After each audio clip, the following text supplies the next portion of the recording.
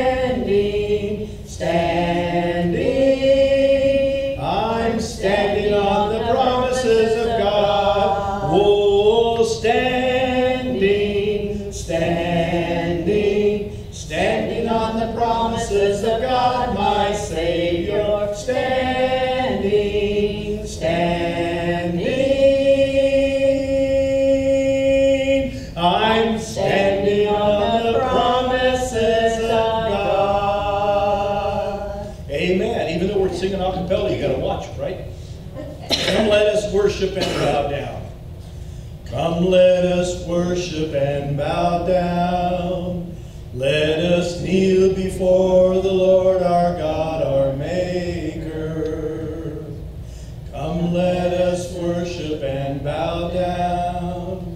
Let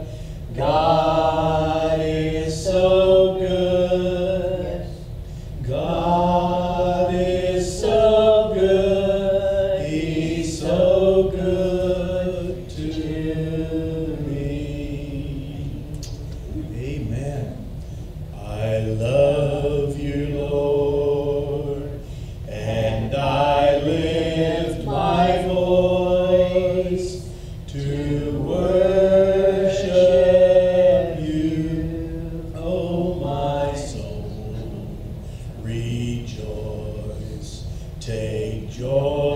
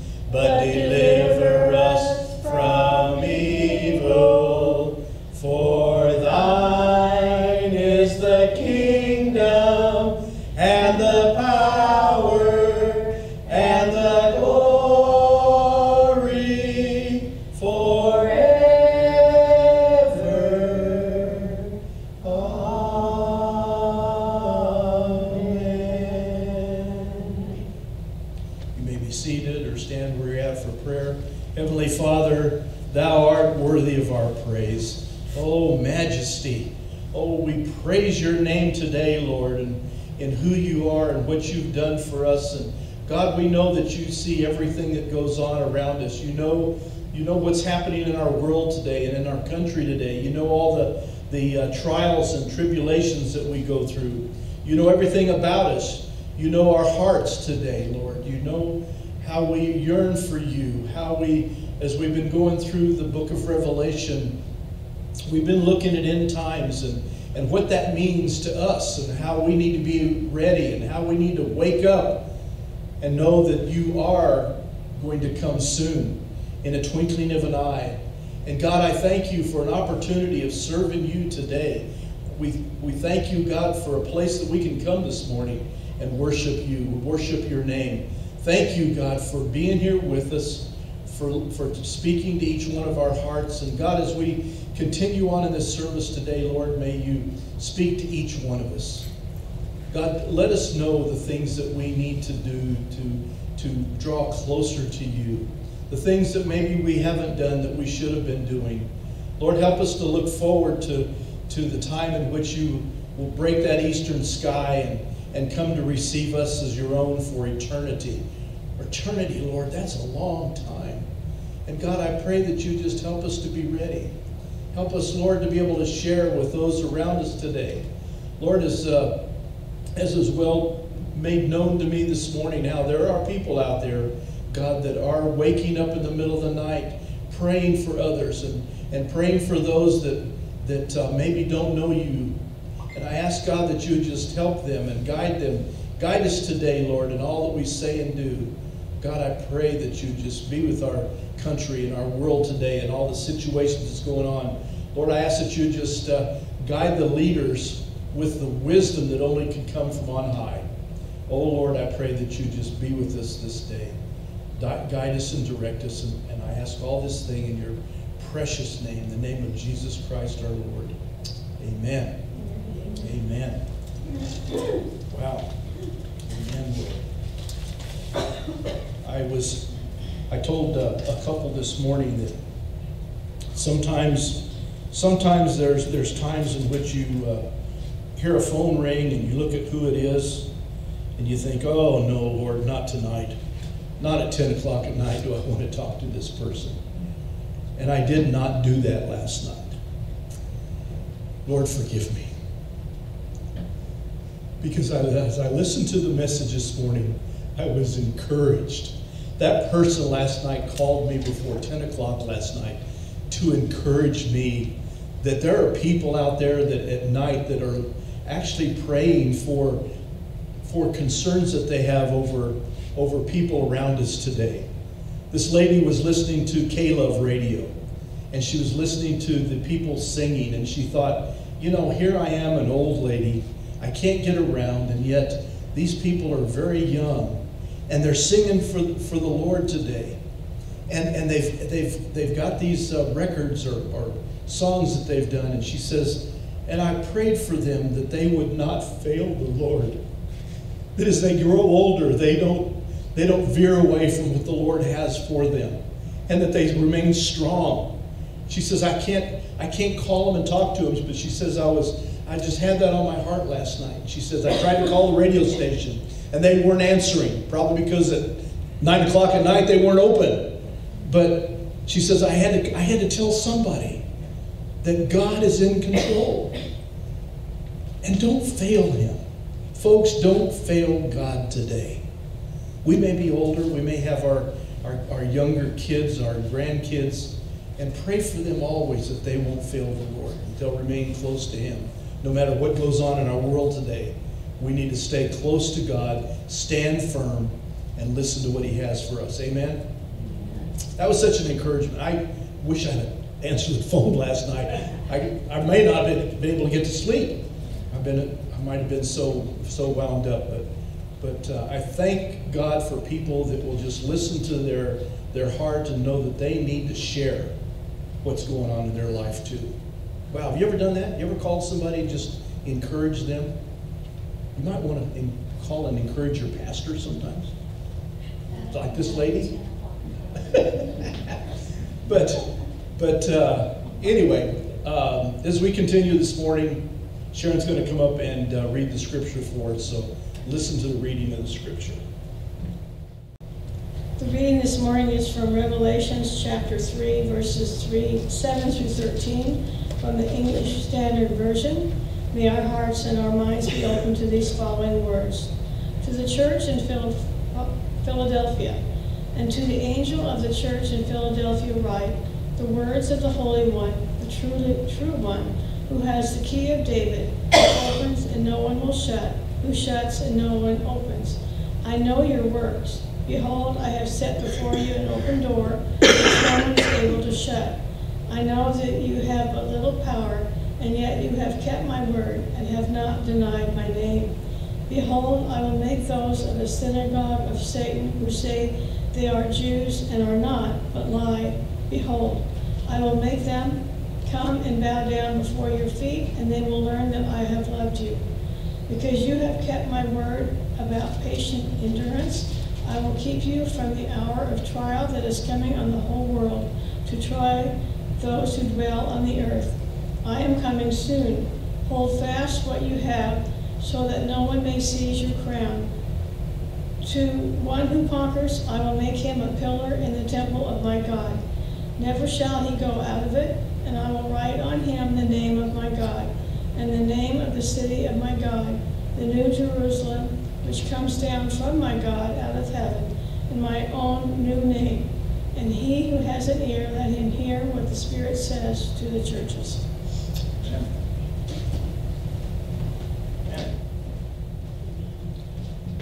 May the Lord bless the reading of the scripture today. I don't know about you, but I've been really enthused and, and thrilled about what I've been learning from Revelation. I don't know if you guys have uh, have uh, got anything out of it, but I know I have, and so that's what's important, right? No, just kidding. But as I get something from it, I hope it kind of rolls out, and you guys kind of get a, the same the same type of thing that I've I've been getting. Well, Revelation. Now, back up a little bit, and we'll we'll uh, you know that uh, the author of Revelation is John. John is the son of Zebedee that we heard about a long, long time in Matthew, Mark, Luke, John. And he's the brother of James. He's known as the one that Jesus loved, that Jesus loved. So we know that John, because of his preaching and his witnessing around, he was exiled to the Isle of Patmos. The Isle of Patmos because of what he said. I'm glad we don't have that today if we go around preaching and, and testifying for the Lord. We get thrown out on an island somewhere. Although, you know, maybe send me to Hawaii or something. Maybe that would be right. But, uh, but anyway, he's he's, he's out on the Isle of Patmos all by himself, and, and lo and behold, on the Sabbath, on the Sabbath, the first day of the week, he's worshiping and he's praying, and he has a vision that comes from the Lord. And he wants to share this because God has put it on his on his heart that he needs to share. Well, the first thing he the, the, the Lord, the angel of the Lord told him to do was share to my seven churches the candlesticks, or the candlestands. So we've gone through this, the, the uh, we've started the uh, churches that the letters were written to. Remember, the very first one was Ephesus, and that was the one that uh, God says that they are to go back to their first love. Remember that? Go back to your first love. And then in, uh, in Smyrna, that was one that he says, you guys are going to be suffering tribulation and trials in your life. Just because we can become a Christian doesn't mean we're taken out of all the things that happen and, and we never grow old, we never have health issues. You know, he says, but I will be with you always. I'll be there. Trust in me. Then we go into Pergamos, and that, uh, or Pergamum, and, it, and he says there's a lot of false doctrine out there. Be, but stand firm, read your Bible, the Word of God, and stand firm. Then we heard about uh, Thyatira, and he mentions in that that he wants us to be holy and per- perfect. Remember, he said, Be ye holy as I am holy. And so that's what he's telling the church of Thyatira. Then we did last week Sardis, and it says, You are a dead church. Wake up, he says, and, and, and see what's going on in your life around you. Wake up and come back to me, he says, because you're a dead church. So today, we're getting to Philadelphia. Now, Philadelphia is the, is the well, we've gone through Smyrna and Pergamum and Thyatira and Sardis. Now we're at Philadelphia. Philadelphia is the sixth of the seven letters to the seven churches or the seven candlesticks. The seven candlesticks. Today it's called Alice Sire, A L E S E H I R, Alasire is the name. Aren't you glad you didn't have all these words in the reading?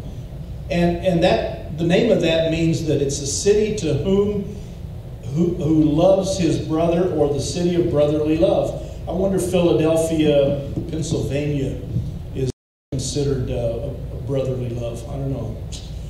You hear some of the things happening in Philadelphia. Anyway, quit meddling and go on.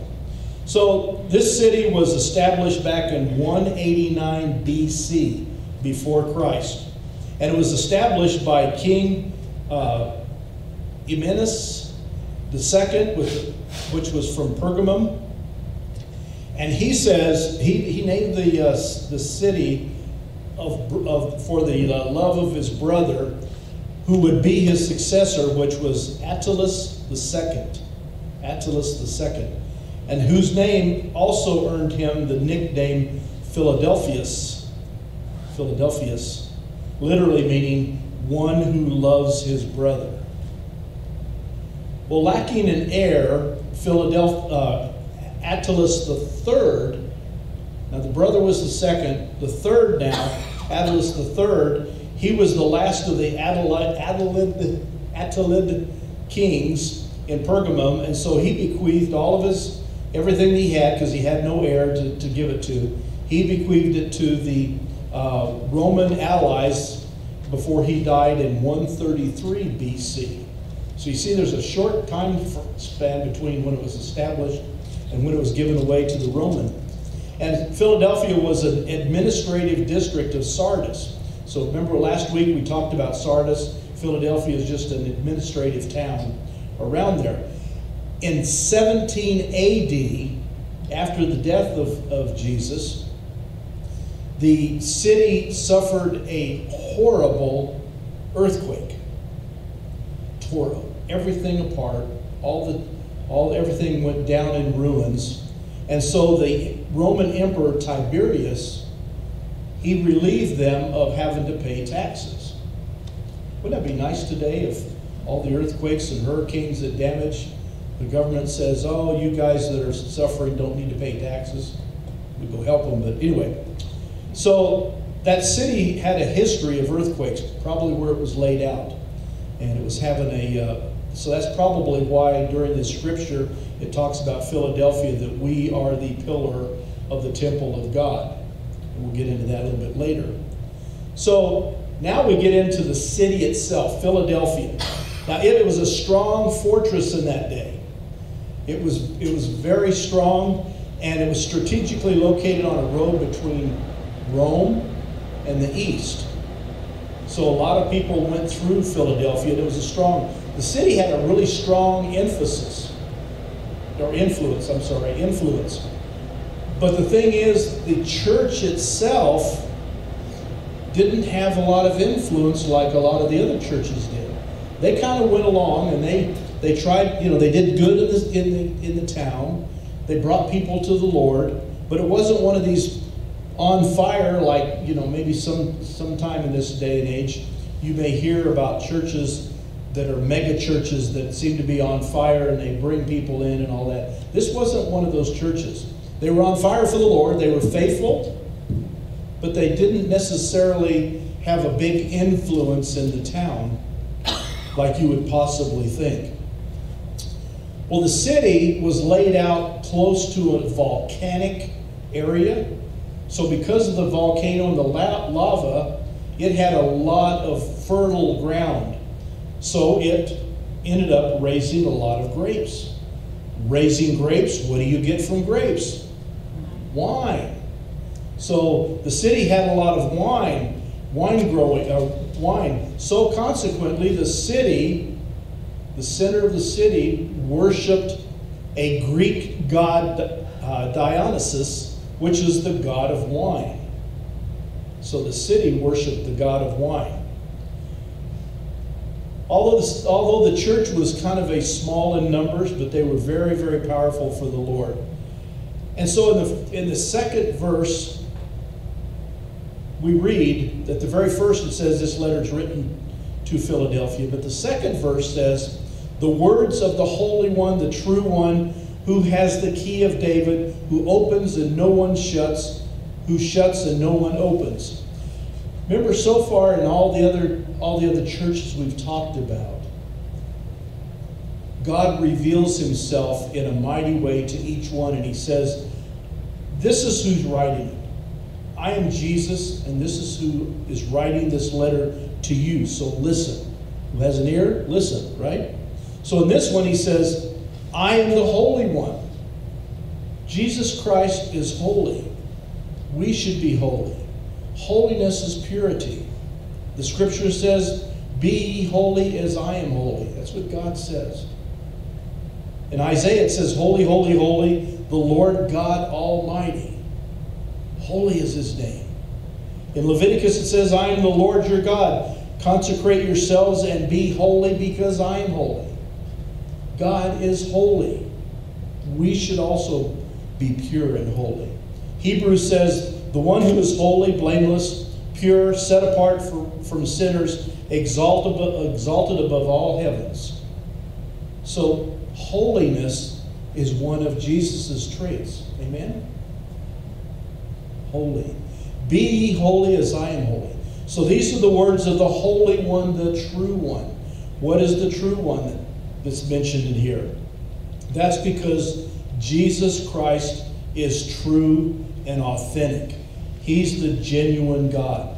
They may be worshiping the God of wine or, or any other God that's out there, but God Himself is the true God. Worship Him only. Remember the Ten Commandments talks about worshiping the Lord God. He's don't don't ever don't have any other gods before Him. Put God number one. Amen. It says in 1 Corinthians, there is but one God, the Father, from whom all things come, and for whom we live. And there is but one Lord, Jesus Christ, through whom all things came, and through him we live. Jesus is the Holy One and the true one. He is the God, He is the Lord. And He holds the key of David. Now, what in the world does that mean? It means Jesus Christ has all the authority of heaven and earth. He gives us the key to come into heaven if we have followed and been faithful to the Lord. He's telling Philadelphia today, I have the key to give you to come into the, to heaven and spend eternity with me. I have the key of David.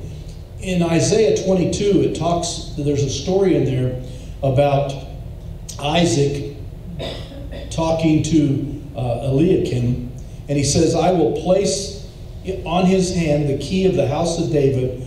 What he opens to what he opens, no one can shut, and what he shuts, no one can open. Jesus Christ is the authority and has the absolute power over death and hell. Wow, aren't you glad he does? The door is opened for those that accept Jesus Christ into their life. Jesus Christ opens the door, and you need to follow through and go into that in, in through that door. Salvation is assured for those that repent. And that's what Philadelphia was.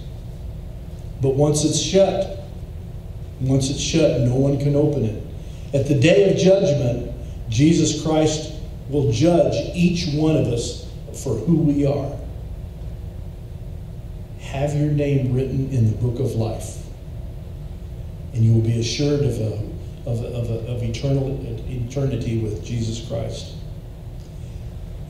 In Revelation, the first, first chapter of Revelation we read, Jesus is also the one who holds the keys to hell and of death. I am the living one, Jesus says. I was dead, and now look, I live forever and ever, and I hold the keys to death and Hades. Jesus Christ holds the key to heaven. In Matthew, it says, I will give you the keys of the kingdom of heaven. Whatever you bind on earth will be bound in heaven, and whatever you loose on earth will be loosed in heaven. Jesus Christ gives us the power, folks. When we accept Christ into our life and we are to share Christ with those around us today, He gives us the power to be able to go talk to somebody. We say, "Oh, you know, I can't, I can't talk to my neighbor. I just, I just can't talk to them because I wouldn't know what to say. I don't know what to say to my neighbor. I know they need Christ, and I need to share it, but what do I say? Jesus Christ gives us the power and the words to speak His name and what He wants them to hear. There's been so many times the trio would be out to a church singing, and all of a sudden, I don't know if it was because we didn't practice enough, which we did, we practiced a lot, but for us, we would hit wrong notes, we would miss a word here and there through the course of singing, and we were going, oh, man, we're beating ourselves up. We did horrible today. And somebody would come up and say, oh, I love what you sang. The, the, the words of that song brought back meaning. My, my mother, my father, somebody that I knew sang that song, and that was very special in their life, or it touched me today. God takes our meager words that we say to those around us, and it turns into what they need to hear. It may not be what we hear, but it may be what they need to hear. I don't believe in speaking in tongues this, that nobody understands, but I do believe that we can speak we can speak words out of our mouth that people will understand exactly what we're saying. Sometimes I have a hard time communicating. I knew I knew to get a rise out of Linda. But sometimes communication is not maybe my best trait, my best skill. Yet when we're speaking to, the, to someone about the Lord, the words seem to come out, and they may not be exactly what you mean to say, but God turns them into what your neighbor needs to hear.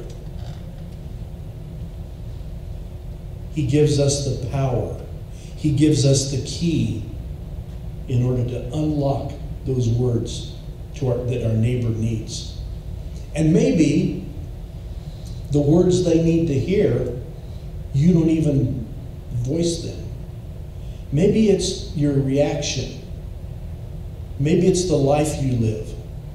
Maybe they see what you do each and every day and they say, I want that. I was doing a revival one year in a church, a small little church up in Nebraska. And as, as, as was my practice, you know, when people would come to the altar, I would go down and pray with, with uh, whoever came to the altar. And I knelt and, and, and, put my arm around this guy, and he was, he, was, he was just bawling like crazy, like a little baby. And I said, What can I pray with you for? What are you looking for? Now, this guy was a church member, he was on the board of the church. I said, What can I do to pray with you? What are you seeking God to do? And he cried and he looked up at me and he says, I want to be like you. Wow. What a humbling thing to have somebody say. What do you mean? You go out and speak and preach the word. I want to be like that. Folks, all we need is the power of the Holy Spirit working through us. Just be available. Get up in the morning and say, Lord, I'm here this morning. I'm breathing my first breath of the morning, and I want to go out and I want to talk to somebody today about you. I don't know about you, but I, I, I like to go shopping. I tell Linda a lot of times, let me go to the grocery store, we'll write down the list. And I like to go and intentionally interface with people around. Now, I know sometimes you go and you see somebody at the grocery store and they are rude, obnoxious, run into you, want to cut in front of you in line, they're getting that last whatever off the shelf.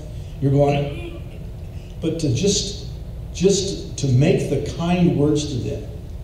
Can I reach up and grab that thing that's a little higher than maybe you can reach because you're short people?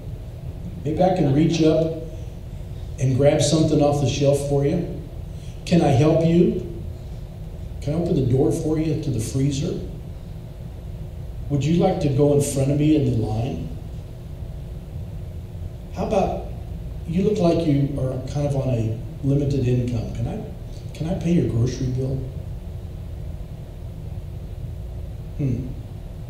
Oh me. Got into meddling, didn't I? The next part of this scripture says, if you notice that Smyrna and Philadelphia are the only two churches out of the seven that he that the angel of the Lord doesn't uh, uh, condemn them over something they've done. They're nothing but uh, they're, he's commending them for what they've done. And in verse 8 it says, I know your works. Behold, I have set before you an open door which no one was able to shut. I know that you have but little power, but let but yet you have kept my word, and you have not denied my name. Behold, I will make those of the synagogue of Satan who say they are of the Jews, but they lie. Behold, I will make them come and bow down at your feet, and they will learn that I have loved you. Do you kind of, as you go around, you kind of ooze out God's love? Does it kind of just flow out of you? When I put in my contact, I put it on a little little little thing here, and, and, and it's a little rubber piece, and I, and I put it on there, and I'm to fill it with this liquid stuff. And they said, don't just fill it to the, don't just fill it to the edge. Keep filling it to where it bubbles over. So I'm filling this up, and it's right to where it bubbles over. And so I'm going, not all of that is going to fit into my eye. So I so I bend down and I look down and I put that contact in my eye, and lo and behold, it's more liquid than will hold into that little gap in my eye.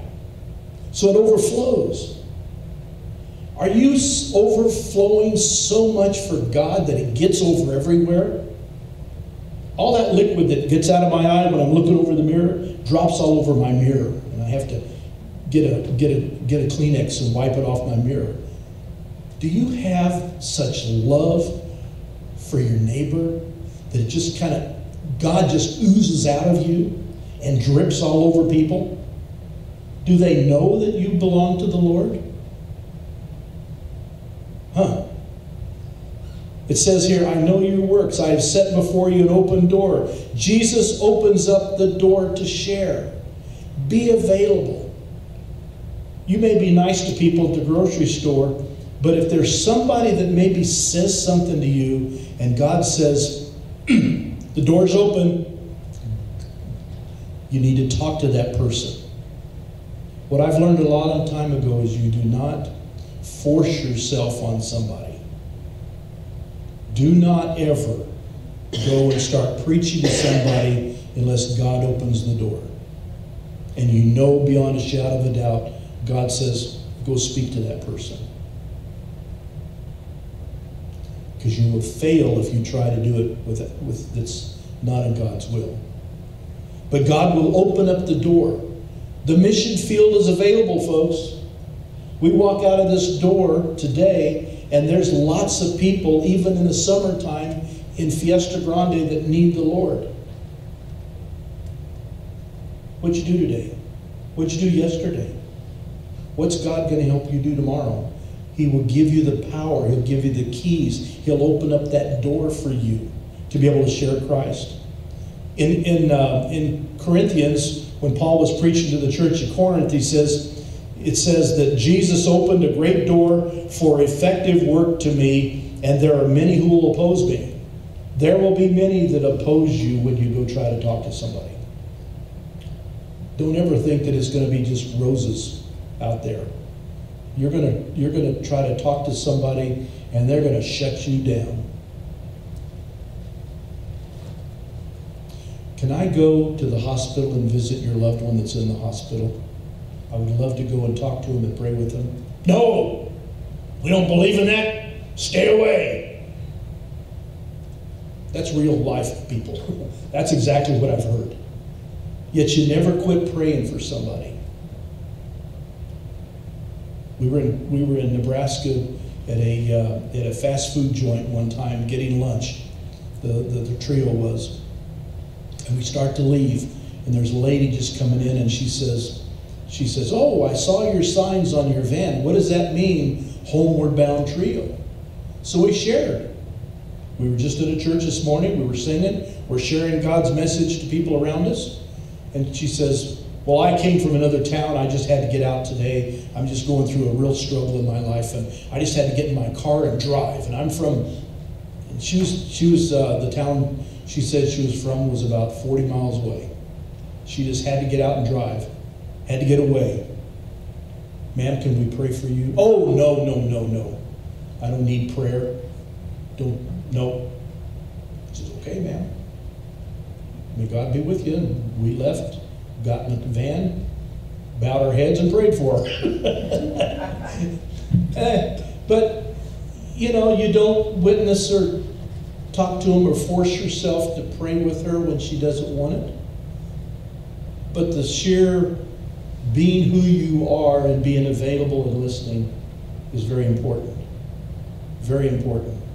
And it says, they will learn that I love you. That's what Jesus is saying. They will know you as you spill out into your into your neighbors, and they just can't. They, they just can't. They, they can't not. They cannot know that God loves you, and that you're in the center of God's will. If you're flowing out like you're supposed to, they just can't help it. There's going to be a fragrance about you. Maybe the aftershave that, you know, or the cologne or perfume you're wearing. No.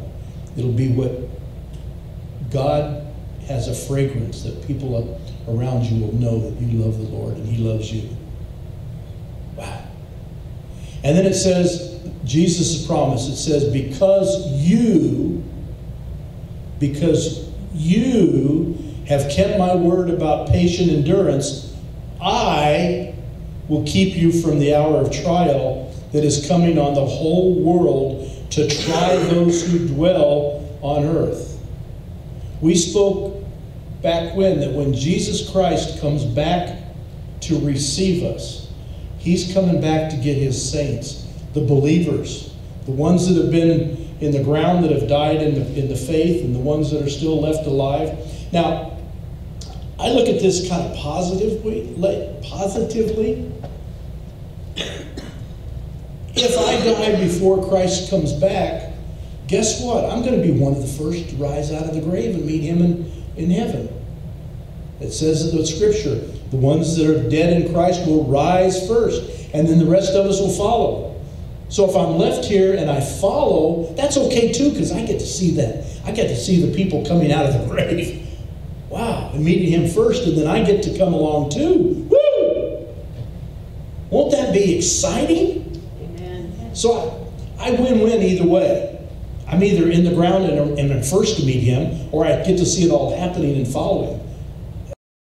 That's a win-win situation. But he says, because you have kept my word, be faithful, be strong, be in the word, be kind. When Christ comes back, he's going to gather us all up into him. And we won't have to go through the tribulation. I don't think I want to go through the tribulation without, without Christ's saints down here to pray for me. Or the Holy Spirit being available to talk to my, talk to my spirit. I don't want to be here when that happens. I want to be up there praising the Lord. Look to the east, he says in the scripture. Look to the east because he's coming soon. coming soon. And those that are left are going to be tried. It says the whole world will, will be tried, those that are left here on earth. Philippians 2 says, At the name of Jesus, every knee shall bow in heaven and on earth and under the earth, and every tongue acknowledge that Jesus Christ is Lord to the glory of God the Father. Woo! Hmm. Am I the only one that likes to shout? I think I am. But that's shouting, that, that, that's shouting stuff there, folks. Wow. Anyway, and it, the, the song says, Lift, Lord, I lift your name on high.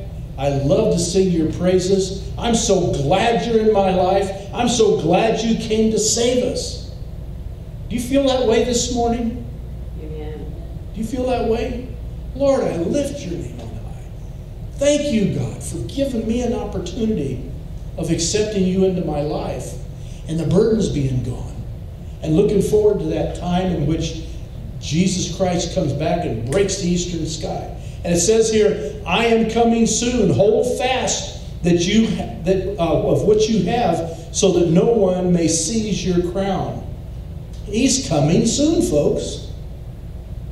As we've talked about Ephesus and Pergamos and Thyatira and Sardis, those guys are going to be when when Jesus Christ comes. If they have not repented of what they've done, they're going to be scared to death of the second coming.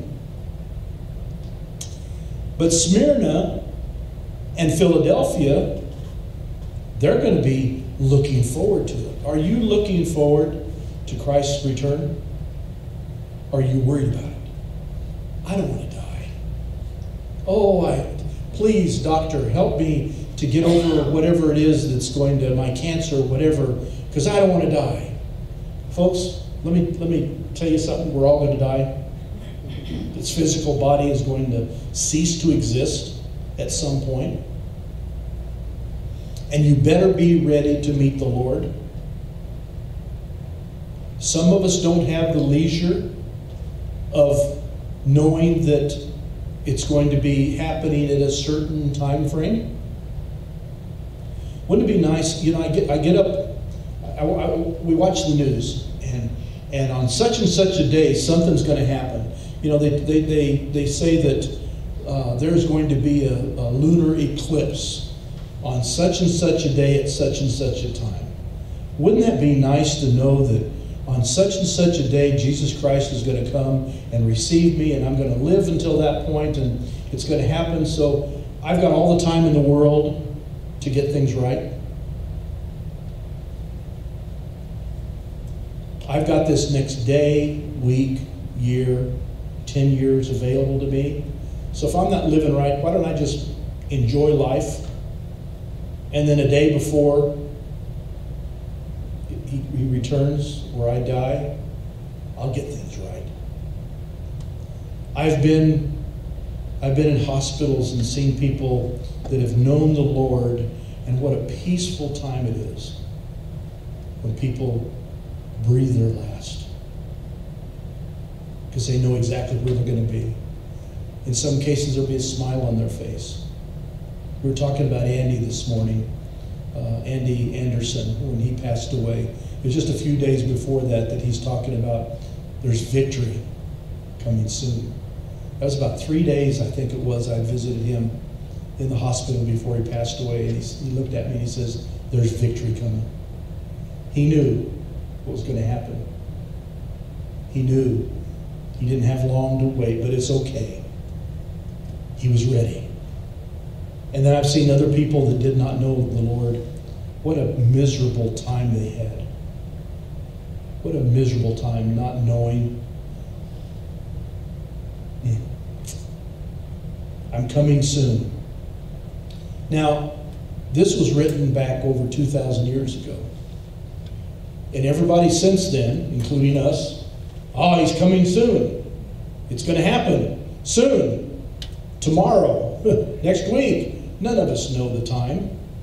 This word soon, if if you look at the translation of it, doesn't necessarily mean the soon that we think. It means in the twinkling of an eye.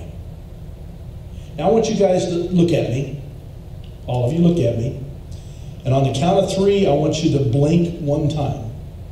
One, two, three. See how quickly that happened?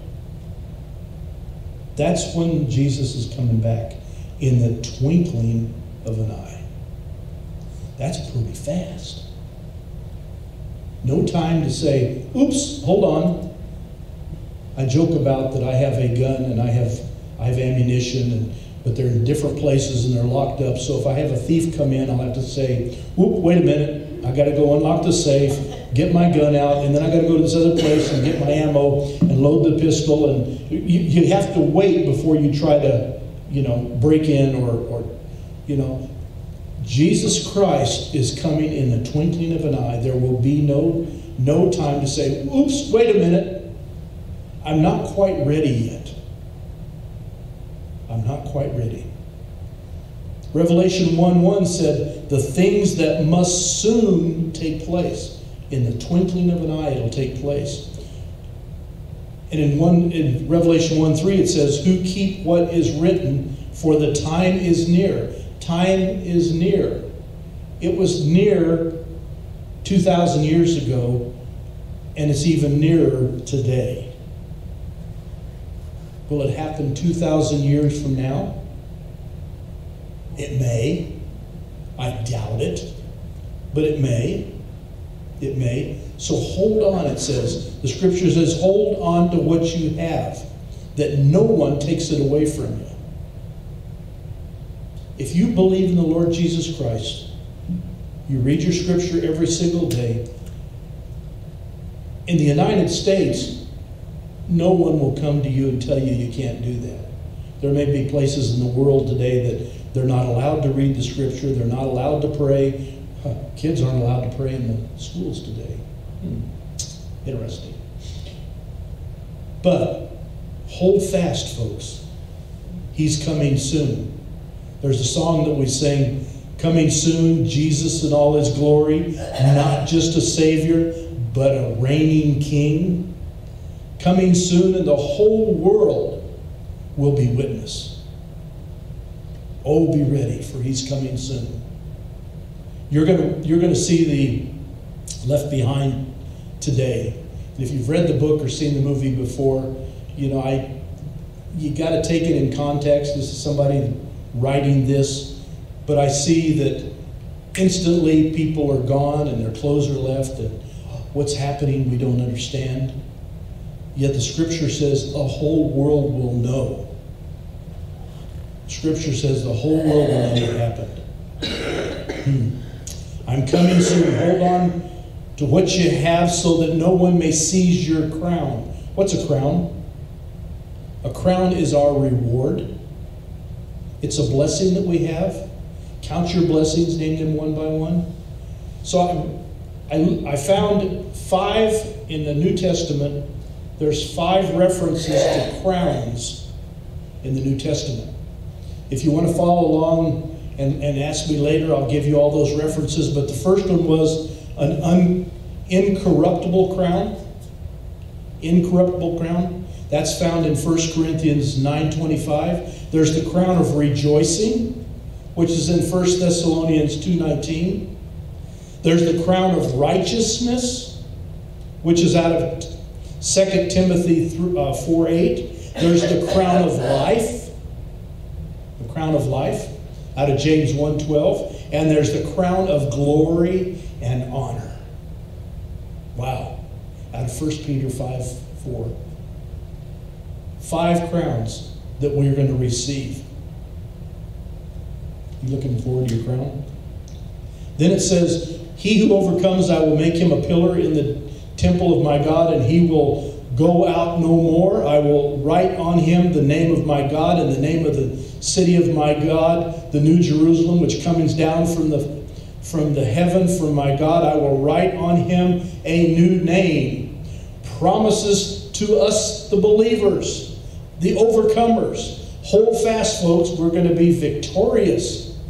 And we're going to be a pillar, a monumental pillar of the temple of God. Now, pillar. Pillar. This is not talking about, I watch a, enough uh, HGTV that I know how houses are built. I could almost do one by myself. No, not really.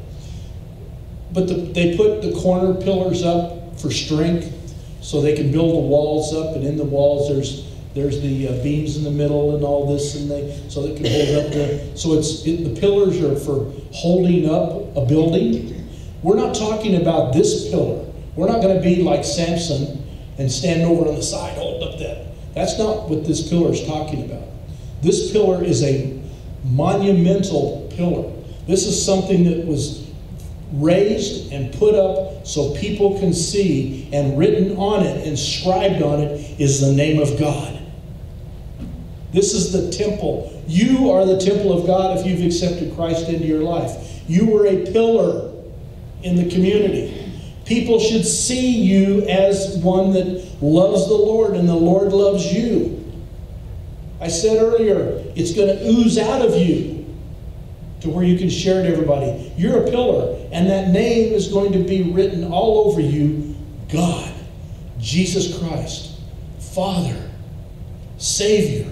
It's going to be written all over you. There, there will be no doubt in the minds of anybody that comes in contact with you who you belong to. You're going to be a pillar.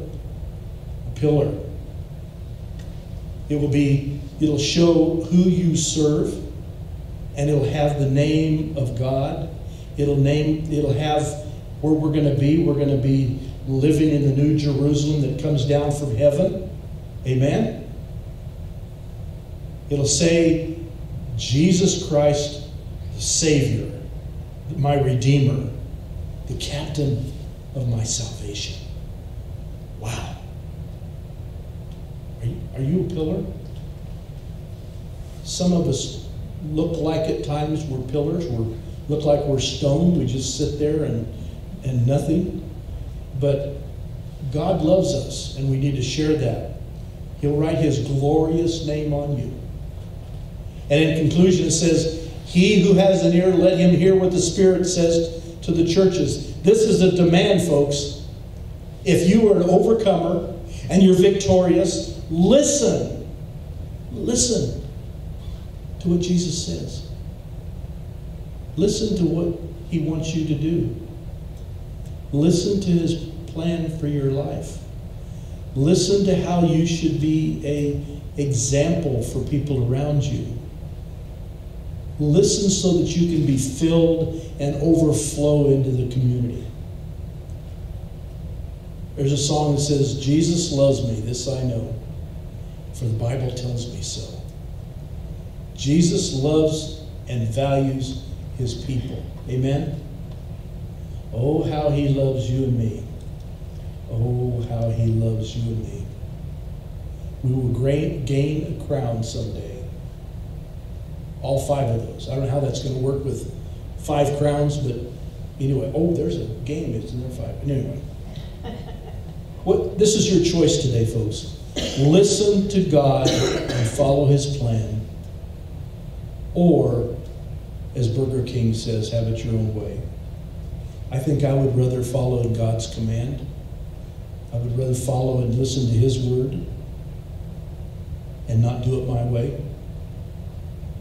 Hmm. Live faithfully to, to God, and we'll have a crown in heaven. And it won't scare you when the eastern sky breaks and the Lord comes back to get you. You won't be sitting back thinking, oh my Lord, I missed it. That will be hell. If you look on everybody leaving and you're still left and you know exactly what happened. Hmm. Let's pray. Lord, I pray that you would help us to live a victorious and a faithful life unto you, Lord. Lord, help us to be alive and be a lighthouse, a monumental pillar in the community, that people will be able to, to see you and know that you love us and that you love them. Search us, O Lord, today and know our hearts. Lord, help us to to hear the Spirit speak to us, each individual and also our church. Lord, we know that you're coming soon. Maybe, maybe morning, maybe noon, maybe nighttime, but you will be coming soon. In an instant, in the twinkling of an eye. Lord, help us to stand fit, steadfast and bold to the end. Help us, Lord, to be awake and look to the heavens for which comes our salvation. Lord, give us a heart for the lost souls around us today. As that lady called and encouraged me about praying for those around her today and those that are singing the songs of, of, uh, of faith. Lord, may, may our name be written on that pillar along with you, God, that you people will know who we who we believe in and who we trust. Lord, help us with our ears to listen to what the Spirit says. Lord, search us, know us, and speak to our hearts today. Lord, we ask this in your precious name, the name of Jesus Christ our Lord. Amen. Wow. I kind of liked Philadelphia. They kind of had it together. Not the power, but they had it together. Amen. Let's stand together as we sing the doxology. I want to get you out of here early enough to go home and take a nap before the long movie this afternoon. Praise God from whom all blessings flow. Praise Him, all creatures here below. Praise Him above, ye heavenly host. Praise Father, Son, and Holy Ghost. Amen. Amen. Thank you for coming this morning. I hope the Lord has spoke to your heart like He spoke to mine about about Philadelphia and the and uh, the coming soon of Jesus Christ. Come back this afternoon at 2 o'clock. Bring your cushions, bring your popcorn, bring your drinks, leave the chairs where they are, and you are all dismissed.